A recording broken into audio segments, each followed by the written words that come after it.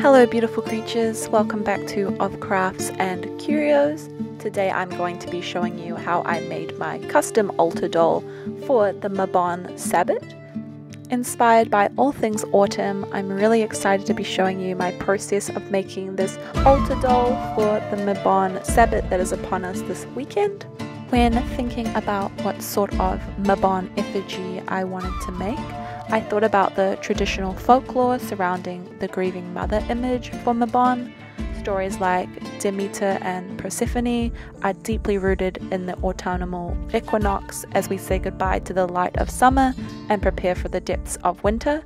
This led me to opt for a smaller statured doll and to lean into more of a youthful face to really call and invoke that energy of the lost child that is often spoken about in the lore surrounding Mabon.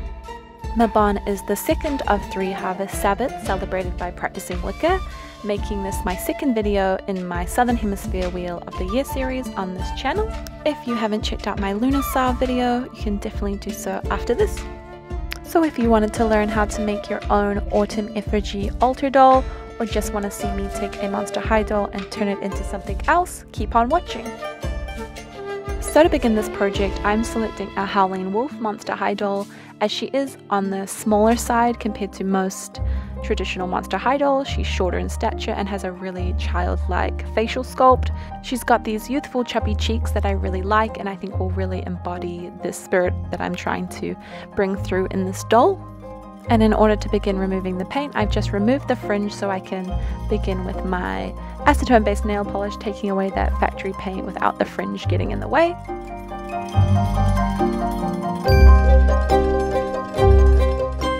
With the factory paint removed, you can see how youthful that facial mold is.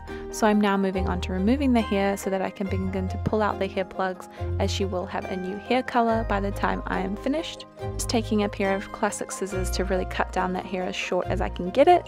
And then I'm going to be removing the ears just to make it a little bit easier for me to cut down the hair as short as humanly possible and have a little more ease when I apply her new hair.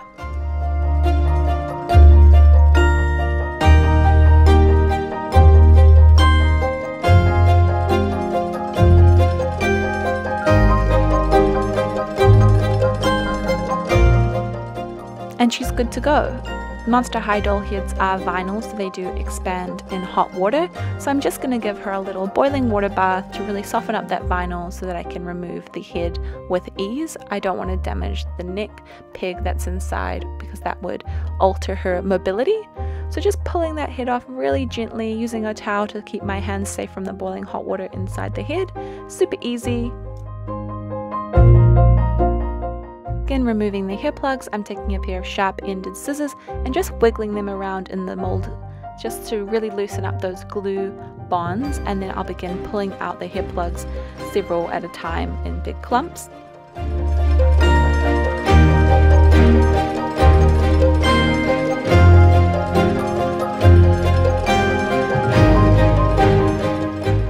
And once she's hair free, it's time to move on to the face up.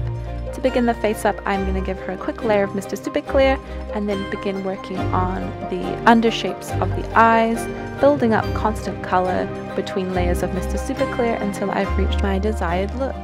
I'm going to be mainly working with browns, oranges, yellows, and reds for this look as I really want to just do those autumn core colors like the colors of the leaves or fresh harvest apples so I do also leave out a pupil. I just kind of wanted to do this autumn sunrise eye look without having the majority of the iris covered up with a pupil. So she doesn't get a pupil in the end, she just gets these really cute starburst brown popped eyes.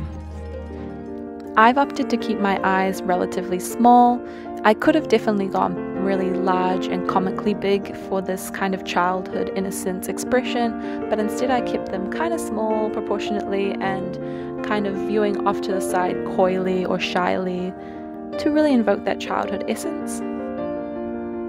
Moving on to the lips, I wanted to go with a really neutral, natural finish and colour as I didn't want to do like a bold makeup look.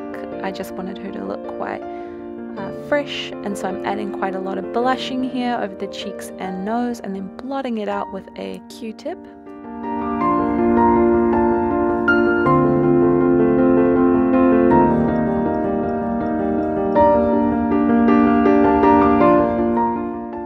once she's all blushed, I'm just going to add in her eyebrows and then I'm going to move on to some freckles. Nothing says the end of summer like freckly skin, so she will be getting a full face and neck of freckles.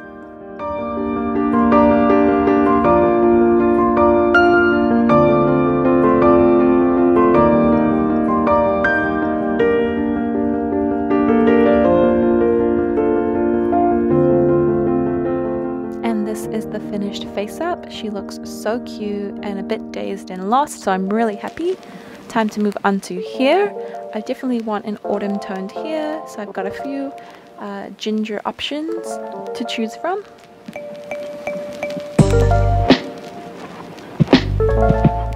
Decided upon the brighter orange as I feel like it's more youthful and a bit more playful, and so I'm just going to start by wrapping off her face so I don't damage the face up with the glue I'll be using to attach the pre-wefted hair. The glue I use is 450 quick dry adhesive. It is acetone based so if it did come in contact with paint it would remove it.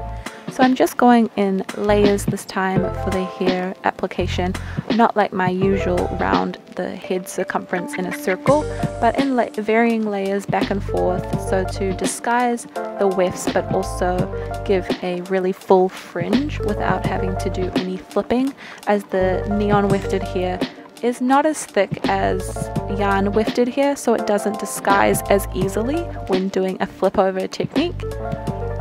And to disguise my final wefts, I am going to give her a headband so it all works out really well. I won't need to worry about disguising those wefts. And now just trimming down her fringe as I want her to have super thick childlike bangs. I think that's super cute and definitely adds to her youthful look.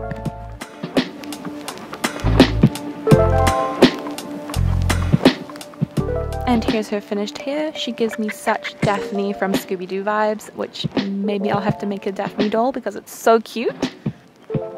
With hair and face done, it's time to move on to her outfit. I've got a bunch of fall themed fabrics that I can choose from. I first tried to use the pumpkin fabric, but it just was too big of a scale for the size of the doll, so I went for more of a tartan, embellished, fun, kind of country vibe. To tie in the harvest theme, I took this heavy weave fabric from this little bag and made a jacket. And then I also made a little embroidered apron, which is super cute. And with all those pieces together, it was time to put her in her outfit.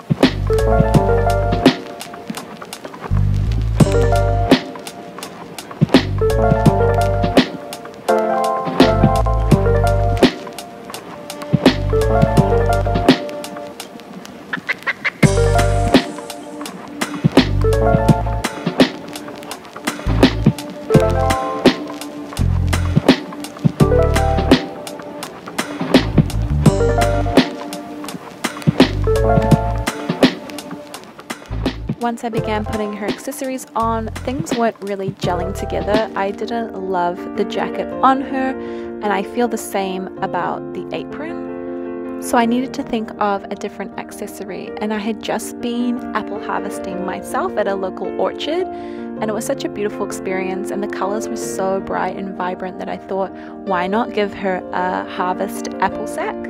So out of polymer clay, I sculpted these tiny little apples, some out of base red, some out of more of a translucent kind of cream color, and then I just gave them a quick brush over with paints, yellow and red, as the baking had kind of turned them brown, and this was the outcome. They look so cute and so realistic. I really like them. So I was really happy with how this accessory was turning out. So I made her a tiny burlap sack out of a larger burlap sack and then just tried to figure out the placing of the apples before I was ready to glue them in. I used some polyester stuffing to fill out the burlap sack, but I still hadn't made quite enough apples for my liking, so I did paint that red to kind of give the bag some depth. And using my Elmer Glue-All, I just glued them in place when I was happy. And yeah, here they are drying. I think this is awesome for an accessory as cornucopias are something that is often associated with Mabon. And although this isn't a cornucopia, it does have that plentiful energy of harvest. So I'm really happy with this accessory. She looks so adorable holding it, and at that scale, they do look really realistic alongside her. So I'm very happy with that.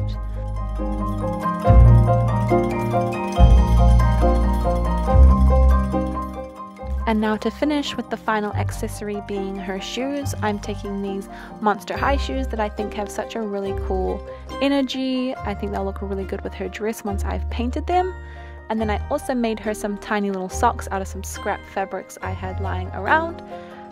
To keep within the color scheme, I wanted her shoes to look brown leather, so I did two varying browns with a white lace, and I think they turned out really cool. And this is the finished doll. This is her complete look. I think she looks gorgeous. I am so happy with how she turned out. I think she's going to look so divine on my altar this Mabon. I am so obsessed with her little apples. I can't even explain how happy I am with how they turned out. I think this was 100% the right accessory choice over a jacket that I didn't love and a apron that I could have executed better but she's so cute and I do think that childlike essence comes through and there is a sort of sadness to her expression that I think calls upon those Mabon narratives of the lost child. Maybe next year I will do the grieving mother as that's definitely a different direction you could go for with this kind of altar doll for the Sabbat. And here she is with the first doll in my Southern Hemisphere Wheel of the Year series, my Lughnasadh doll. I think they look gorgeous together and I can't wait to see what the complete Sabbat collection looks like at the end of this series. I think they're going to look so beautiful together and it's a really great way for me to channel my craft by creating these effigy dolls for my altar. If you enjoyed today's video, I would really appreciate it if you gave us a thumbs up or left me a comment telling me how you're celebrating your local Sabbath, if you're celebrating Ostara in the north or a Mabon down here in the southern hemisphere. And yeah, if you'd like to see more doll crafting videos, more videos about the craft, do hit subscribe and I'll be back soon with more crafts and more curios.